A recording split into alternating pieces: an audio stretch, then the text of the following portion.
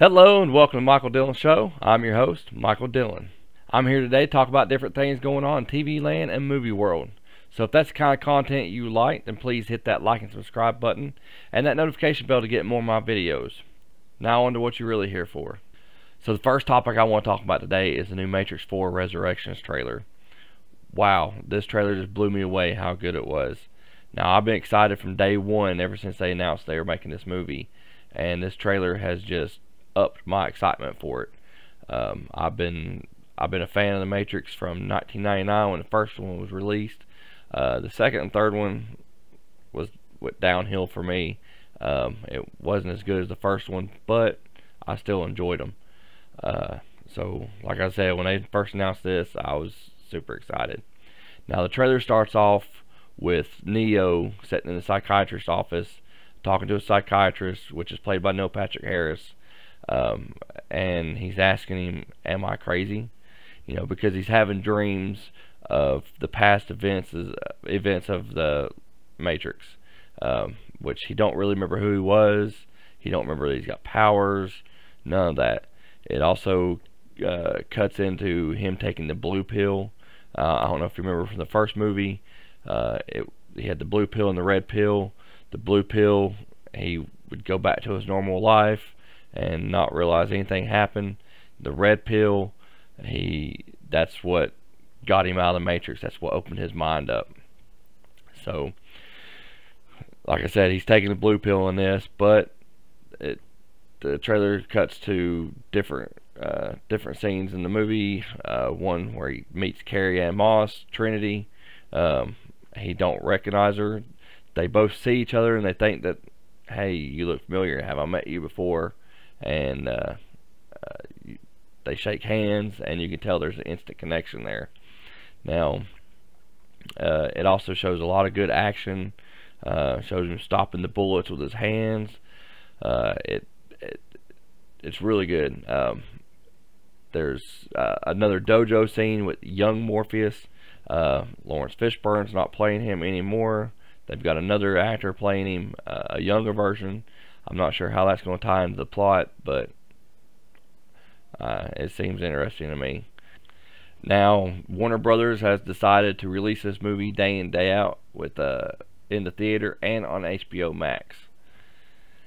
It's going to kill the box office. Uh, that was a huge mistake. I understood when they very first started this, HBO uh, Max and uh, theater same day release day, but it's it's not the same. You know, it it just kills the box office, and I don't think the last time I checked, I don't think that it's really bumping up their subscriptions to HBO Max enough to counteract how much money they're losing in the box office. Um, people who want to see it in the theater go see it the first week, weekend, and then the the drop off is ridiculous the next weekend. But anyway, so December 21st is when it release, releases, and I will be going to the theater to see this. This is one of those movies that I feel like has to be seen in the theater, at least for the first time, to get the full effect and the full enjoyment out of it.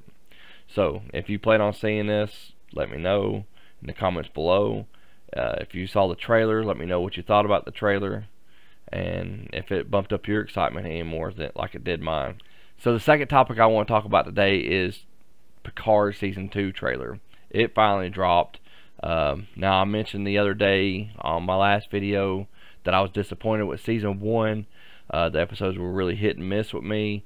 Uh, it did not give me the same feeling that I was hoping for from that the next generation gave me.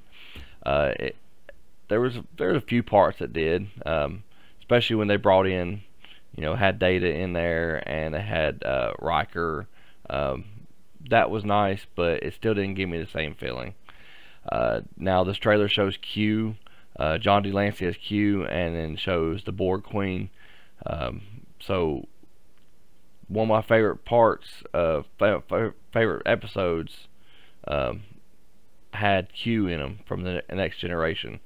Uh, the dialogue between Jean-Luc Picard and Q was I, felt like some of the best dialogue writing in the series. Um, so I'm hoping for a repeat in Picard season two.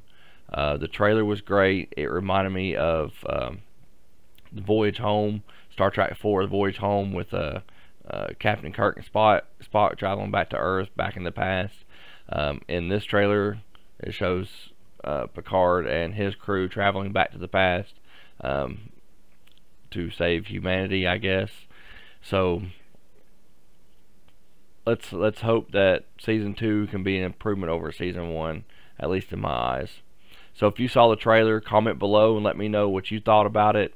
Uh, if you plan on watching season two, let me know and let me know what you think. So the third thing I want to talk about today is Venom.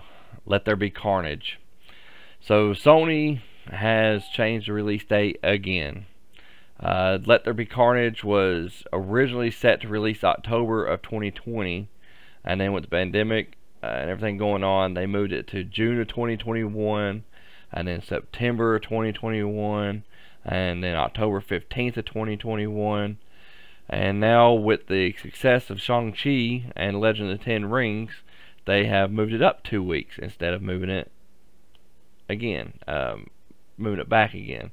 Uh, myself, along with many others, was expecting Sony to uh, push back uh, Venom 2, Let There Be Carnage into 2022 sometime, uh, but to our surprise, they didn't. Uh, now, Venom: Let There Be Carnage is the follow-up to uh, to the first Venom movie that made a little over 850 billion dollars at the worldwide box office. Uh, it was um, it was a really funny movie, uh, great action. Um, Tom Hardy did great in the movie. Uh, the the dialogue back and forth between the symbiote Venom and Tom Hardy was was just spot on. Uh, they picked a great actor to do that with. Um, so the trailers for this one look so funny. Uh, the action looks great. Woody Harrelson looks great um, as Carnage. Uh, so I, I'm expecting for a really good movie, and I'm I'm very glad they moved it up instead of pushing into 2022. Uh, this is another one that I'll be going to the theater to see. Um, so let me know if you saw the trailer and what you thought about it. Let me know if you think that it will duplicate the success of 20 of uh, of Venom 1. Uh, I don't think it will uh, make as much money because of the pandemic and everything, but I do think I, I I just hope at least it's it lives up to the entertainment value of the first one. So, like I said, let me know in the comments below what you think about the about the move and if it excites you. Now on to the last topic of the day. Now Venom wasn't the only movie that moved. Top Gun Maverick and Mission Impossible 7 also moved. Except they didn't move forward, they got moved back. They got pushed back into 2022. Deadline reported after a successful launch of clips and footage at CinemaCon, Paramount Paramount is pushing its big Tom Cruise tentpoles. Top Gun Maverick to May 27th, Memorial Day weekend 2022, and Mission Impossible 7 to September 30th of 2022.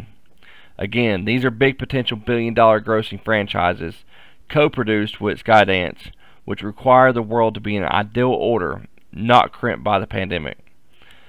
Mission Impossible alone, with six movies, has grossed $3.57 billion. The most recent movie in 2018, Mission Impossible Fallout, hit a franchise high of $791.7 million at the worldwide box office.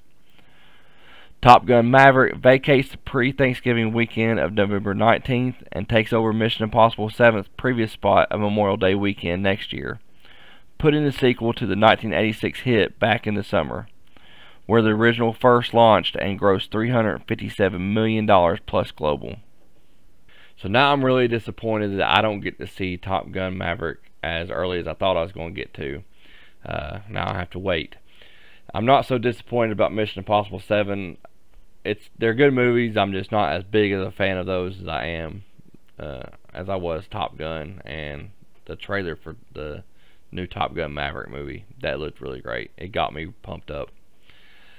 Now, that's all for today. Now, if you like what you saw today, then please hit that like and subscribe button and that notification bell to get more of my videos. Thank you and have a good day.